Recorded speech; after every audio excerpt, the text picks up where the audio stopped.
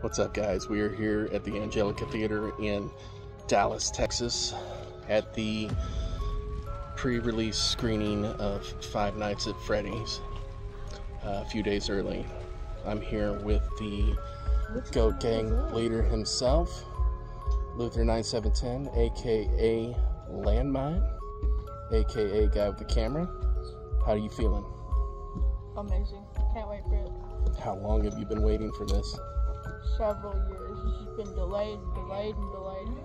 So you're pumped. Yeah, Probably not drawing a picture tonight. probably not. I'll be too busy watching this. So, no picture probably, but there will be a review. No spoilers.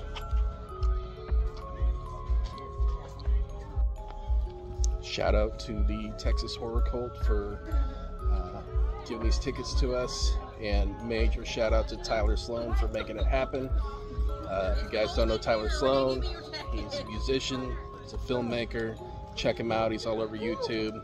Uh, one hell of a filmmaker. Thanks, bro. All right, guys, we just got done watching Five Nights at Freddy's. It was amazing. We can't give any spoilers, but there is a lot going on in this movie. There is some super crazy stuff, a lot of famous YouTubers, and we had an awesome time. Watch it. Definitely. I really liked